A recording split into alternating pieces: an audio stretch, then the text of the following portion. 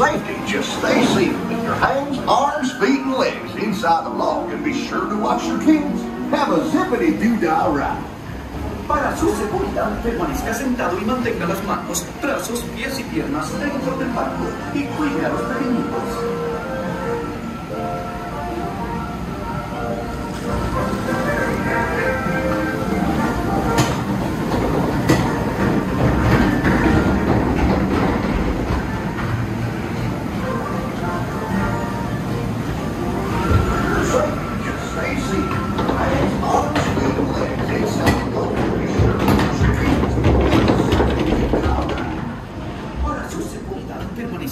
Permanezca sentado y mantenga las manos,